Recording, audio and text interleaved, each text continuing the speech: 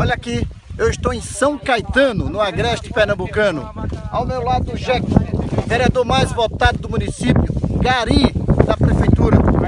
E ele vinha aqui todos os dias deixar o lixo aqui, despejar o lixo aqui nesse lixão vergonhoso que a prefeitura municipal de São Caetano deixa aqui aberto.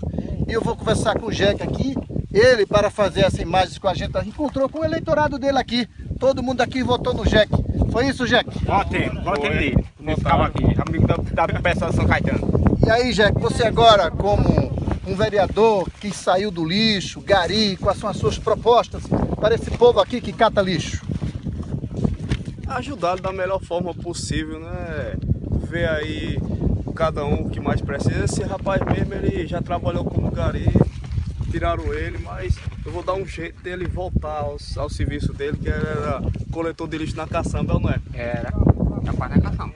Muito bem. O que eu puder fazer por esse povo, que é o meu povo, que é de onde eu vim, que é o povo humilde, que mora nas localidades mais humildes. Você enfrentou preconceito na sua campanha? Tem gente aqui que é. Não, Enfrentou preconceito na sua campanha? enfrentei até demais. Tinha pessoas que diziam: Olha, sem dinheiro o cara não ganha, não, meu amigo. Às vezes com a humildade e com Deus, de coração não ganha também, não. E diziam assim, você é gari, gari aqui não, não tem vez, dizia isso? Vai servir de piada lá, gari aqui não tem vez e tal.